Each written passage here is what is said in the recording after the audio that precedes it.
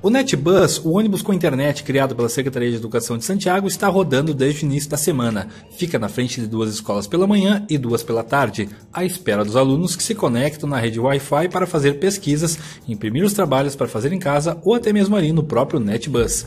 Essa inovação está sendo muito bem aceita e já há outros municípios buscando o projeto. Antes não tínhamos o acesso de alguns alunos à internet, né, para a realização das suas pesquisas. E agora, então, tem esse, essa oportunidade deles eles estarem aqui na escola nas quintas-feiras pela manhã, realizando essa pesquisa dentro dos trabalhos físicos que a escola está entregando e que os professores mandam semanalmente para eles.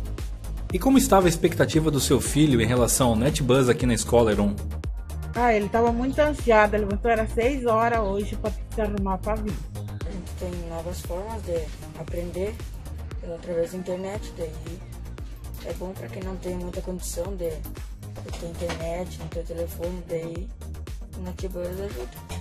Para mim é uma oportunidade única, né, que os alunos têm de se conectar ainda mais, né, com a internet. Ajuda muito e eu acho que foi uma forma que a prefeitura, uma forma extremamente importante que a prefeitura priorizou. Nossa secretária de Educação, Mara Rebelo, então novamente conversando sobre o NetBus aí já tendo alguns dias já rodando pelos bairros, né, Mara? Já excursionando pelas.